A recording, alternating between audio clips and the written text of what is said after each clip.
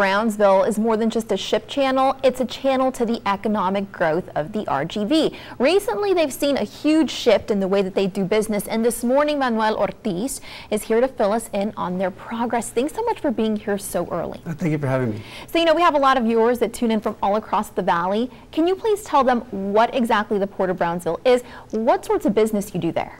Well, the Port of Brownsville is actually a huge asset, not only for Brownsville, but for the region as well. You hit the nail right on the head. Uh, the Port of Brownsville is actually responsible for 38,000 direct and indirect jobs on a regional and statewide level, according to a study conducted by the Texas Department of Transportation. So you got you have ships that come in and out of the channel, import, export, all sorts of materials. Right. We're among the top three ports in the country in importation, exportation of steel. We get ships basically from all over the world, China, Japan, Russia, and the steel that comes into the port of Brownsville is actually exported into Mexico to places like Ramos Arizpe, Saltillo, and Monterrey. And I guess your question would be, well, why does that steel actually matter to me? Mm -hmm. Well, the reason is because a lot of the manufacturing companies are located in Mexico, and that steel actually comes back as a washer, a dryer, or even a vehicle, stuff that we utilize every day. So basically, as we said in the last hour, it's sort of the gateway into Mexico by way of water. And so you get all the steel, send it over to Mexico. They send us goods that we need here in the U.S. So how has this impacted the economy of the valley? Because it's not just the lower valley, it's the upper valley that's impacted as well. It's the entire area. Right, and the perfect example of that would be for the first time in the port's history, we actually handled wind components this year, mm -hmm. uh, back in January and uh, in uh, March. And that was for a uh, project in Willacy County. It was for a wind farm, uh, the Magic Valley Wind Farm in Willacy County.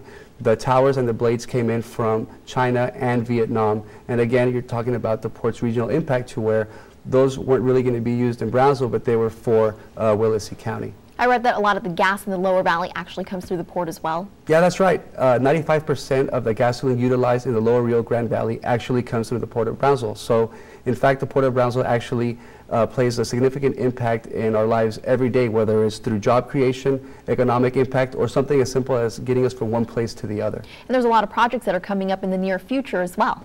That's right. Uh, we actually have a, uh, project with a company called Gulf Coast LNG. For uh, we actually signed a lease option agreement with them back in January for 500 acres. And what they're talking about doing is investing three to five billion dollars at the port of Brownsville. And what they're going to be doing is building a liquefaction facility that, in essence, will export liquid natural gas to uh, different parts of the world. And again, you're talking about thousands of jobs being created during the construction phase and hundreds of jobs being created once it's fully operational. And interestingly enough, it used to be uh, kind of a pastime for people to go look at some of the ships that come in and out of the port. Mary's going to be speaking with you later in our next half hour, talking about security at the Port of Brownsville and how this relates to the viewer.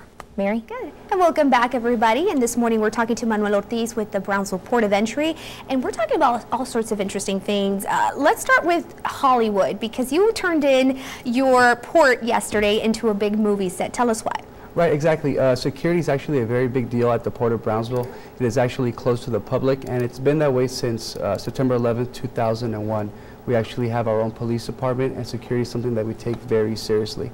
Over the course of the last three days, we actually filmed uh, three videos, one of which will be used for external purposes and the other two will be used for internal purposes. The first one will deal with general port security procedures as far as gaining access to the Port of Brownsville, and the other one will deal with our Transportation Workers Identification Credential Program, or TWIC program. Uh, I see, and just a side note, some of the actors in that uh, movie were actually some of the employees that worked there at the port. But you touched on transportation, and a very important project that's coming to the port, you guys are still working on, is uh, this sort of service that's going to run from Florida, the Florida's coast to the Texas coast. Explain a little bit more about that. Right. Right. Over the course of the last two weeks, we received uh, word that we were the recipients of a U.S. Department of Transportation grant called the Tiger Grant.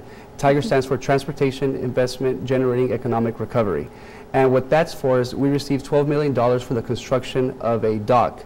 That's not only going to help us really enhance our cargo handling capabilities, but it's also going to help us in negotiations with service providers as we look to start a container service between the Port of Brownsville and Port Manatee, Florida. Okay, and maybe some jobs to come with that because I know a lot of the people here in the valley are desperately looking for work and that could be some way uh, that they can get themselves back in gear. Right, there are so many benefits from the construction of this dock and the uh, container service between the Port of Brownsville and Port Manatee, Florida. You're talking about hundreds of jobs transportation by water is better for the environment. It's mm-hmm. cheaper for companies.